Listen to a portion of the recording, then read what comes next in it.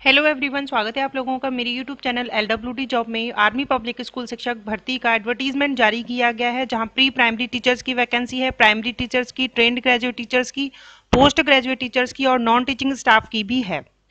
इस स्कूल में जो है रेजिडेंस की सुविधा भी जो है प्रोवाइड की जा रही है। हालाँकि एपीएस में नहीं की जाती है बट यहाँ पर आवास की सुविधा आप लोगों को प्रोवाइड होगी।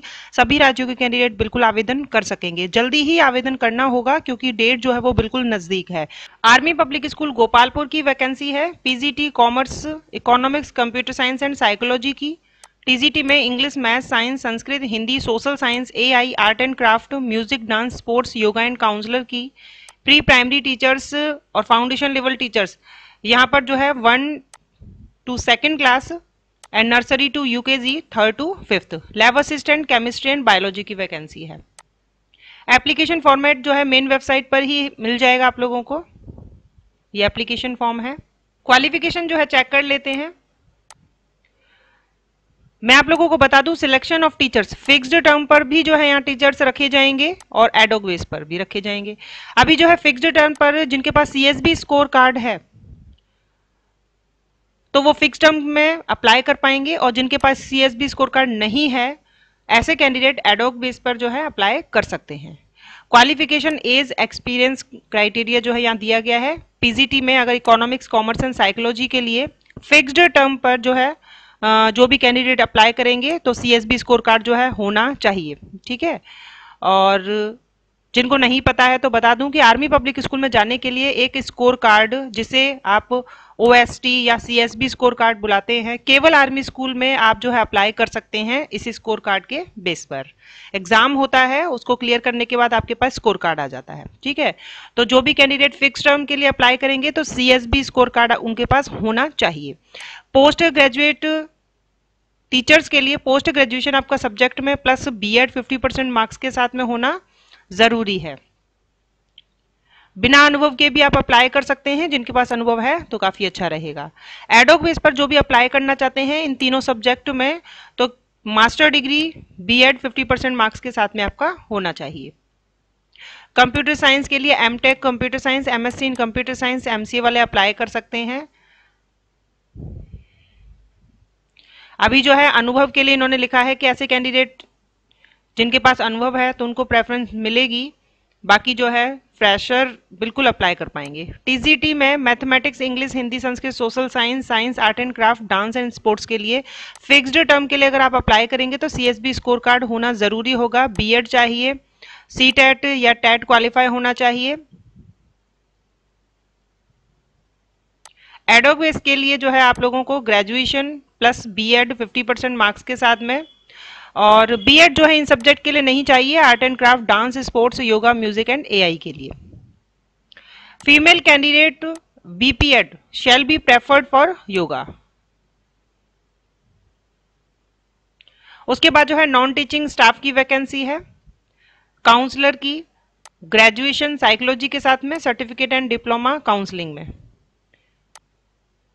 थर्ड टू फिफ्थ के लिए यहाँ पर फिक्स्ड टर्म के लिए C S B score card जो है आपका होना चाहिए, यानी ओ एस टी क्वालिफाई आप हो। ग्रेजुएशन के साथ में B Ed fifty percent marks के साथ में सी टेट पेपर वन आपका क्वालिफाई होना चाहिए और आपके पास जो है डिप्लोमा और डिग्री भी होना ज़रूरी है।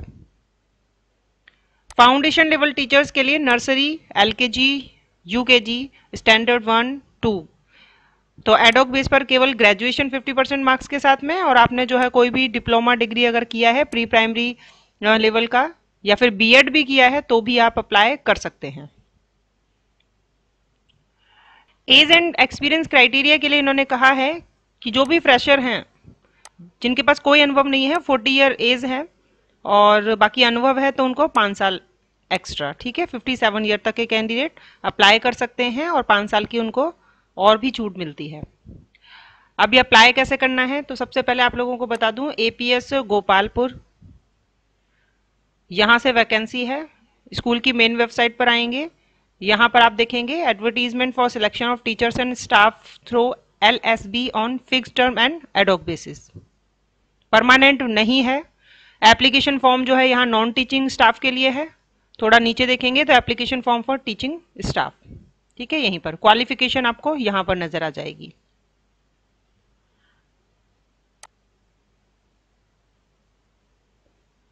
लास्ट डेट जो है वो आप ध्यान दें, ज़्यादा समय नहीं आपके पास।